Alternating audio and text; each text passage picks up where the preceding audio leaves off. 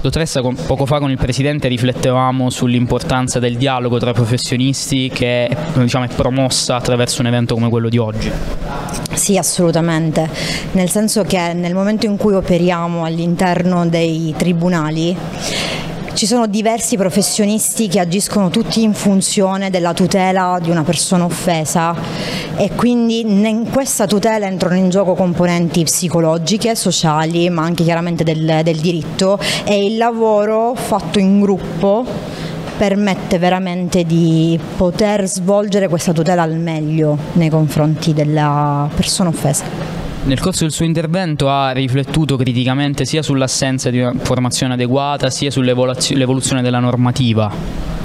Sì, devo dire che purtroppo non sono solamente io a ritenerlo, ma gli studi dimostrano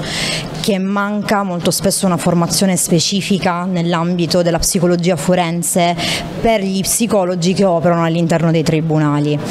Spesso questo capita, e questo lo posso dire per mia esperienza, anche nel momento in cui vengono chiamati magari dagli avvocati, degli psicologi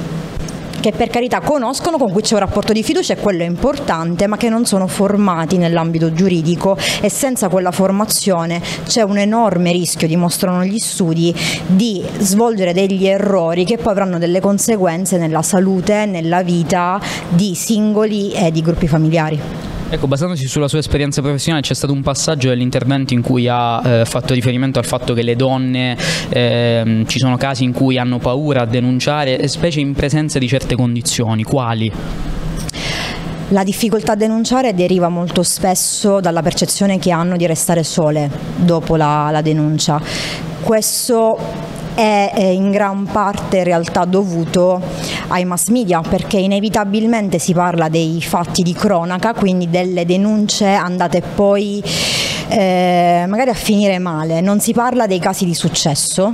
invece dove la persona offesa rivolgendosi alle autorità competenti viene tutelata e questo è importantissimo perché senza quel passo che seppur chiede coraggio della denuncia non c'è tutela.